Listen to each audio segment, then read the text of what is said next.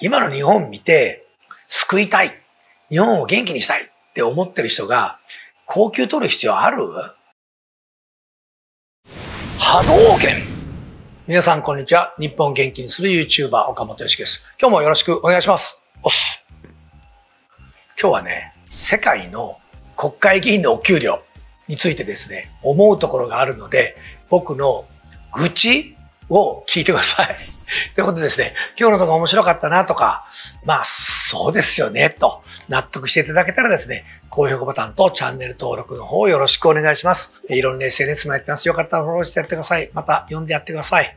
えっとですね、いろんな国が、まあ当然国会議員っていう人を用意してて、えその人たちの給料っていうのはですね、その国によってもちろん違います。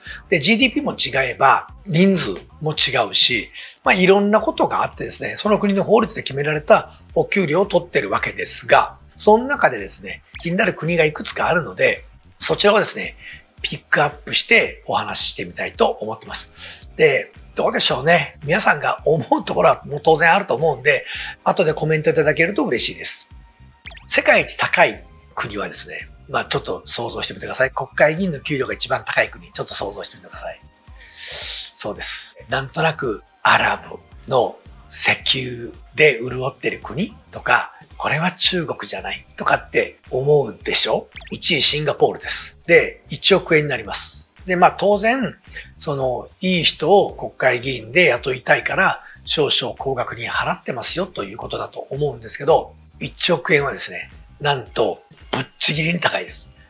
で、僕の意見は、それぐらい払ったらいいと思いますっていう感じなんですけど、こっから先はですね、結構気持ちがあれはするかなと思ってます。2位、ナイジェリア。意外ですよね。ナイジェリアってアフリカなんですけど、5500万円。ナイジェリアの国民の70%が貧困層と言われている中で、5500万円っていう金額はですね、これもとんでもない金額なんですよ。どのぐらいとんでもねえかというとですね、国民の平均年収の200倍超。200倍超ってすごいなすごくないっすか？これとんでもねえなと僕は思ってるんですけど。でですね、3位。これが、まあ僕は、うん、どうかと思うよって思うんですけど、まあ、お待ちかね、日本ですっていう。世界の国会議員の年収ランキングに3位にランクインってどないやねんっていう。まあ、ナイジェリアはこれ模食もあってさ、みたいなんで、まあ皆さんから見てて、まあまあそういう国ですよねって思うでしょ？シンガポールすげえ経済力があって、ああまあそれもあるかなって思うじゃないですか。今の日本見て、救いたい。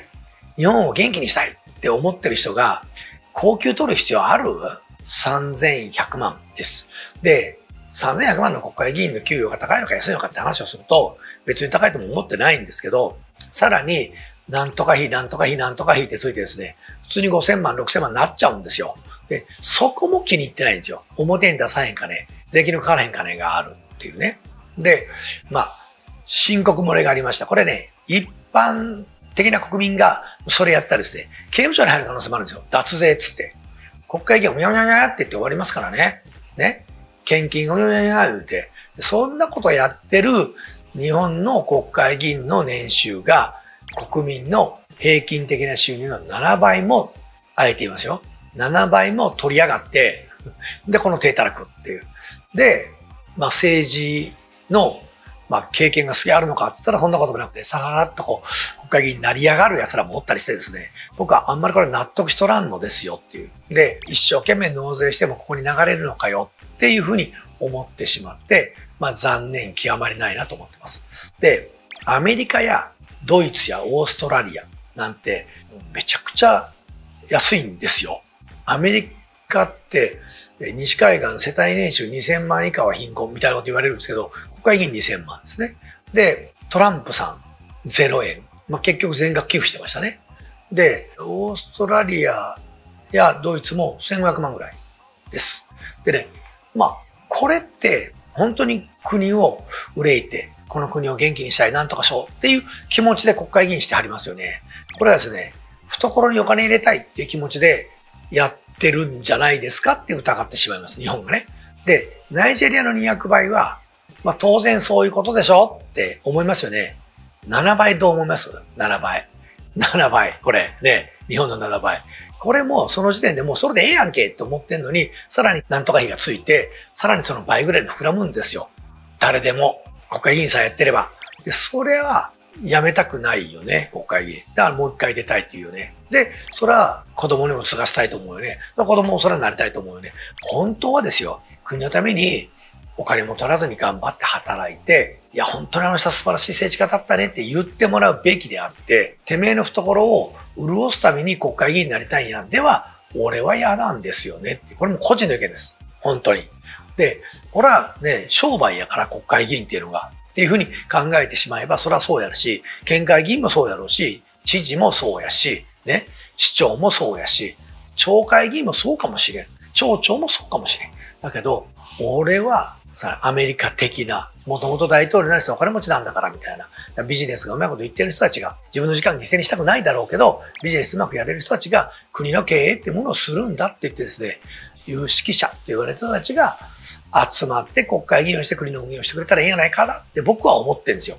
なんですけど、なんか本当にアホで、えー、ジュニアで、えー、裏口から入って、大学にね、で、大学でラグビーだけして、で、アホみたいなことを総理大臣の時も言うてみたいなことをするようなアホが国を仕切っていこうとされるのは本当に切ない。で、それで日本がこの後元気になっていくんかっていうとですね、僕はならへんと思ってるんで、まあ、もっとこう、お金を取らない、お金にこだわってない人たちが頑張って世に出てきて国の政治をしてほしいなと思ってます。国の祭りごとをするっていうのはですね、自分を犠牲にすることだと僕は思うんですよ。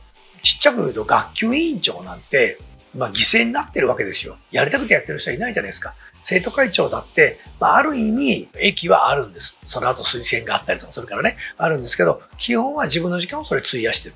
みんなのために、自分たちがいる間の学生生活が良くなるように。これを大きいスケールで見ると国会議員になるわけですよ。総理大臣になるわけですよ。なので、日本の国会議員にはもうちょっと高い志を持って政治を取り行っていただきたいなと思ってますっていう。そうでないとね、税金を納めるから辛いですよ。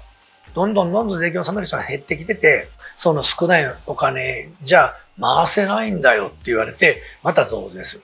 で自分らはね、節税のしすぎをする。ね、節税しすぎてる。ね、わかりますよね。なので、その辺のことを、まあ、せん人たちで国は回していただきたいなと思ってますっていう。で、もちろんいろんな国があってね、世界中には、まあ、中国とか、まあ、北朝鮮とか、いろんな国があってですね、大問題になったりするんですけど、まあ、せめて日本ぐらいは、ちゃんとした政治をする国であってほしいな、なんて僕が思ってますっていう、そんな動画でした。まあ、本当にね、日本に元気になってもらおうと思うんだったら、そこが腐ってたら絶対元気になりませんからねっていうことでですね、汚い言葉を使ってしまいましたけども、僕はま本気でそう思ってますってことを、え、今日は語ってみました。また会いましょうバイバイ